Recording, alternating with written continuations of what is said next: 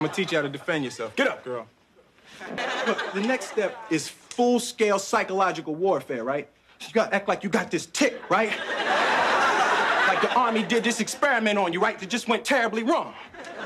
You be like, back up! Back up! Mind your business, that's all. Mind your business. Okay. Back up! Back up! Mind your business. That's all. Just mind your business. What the heck is going on here?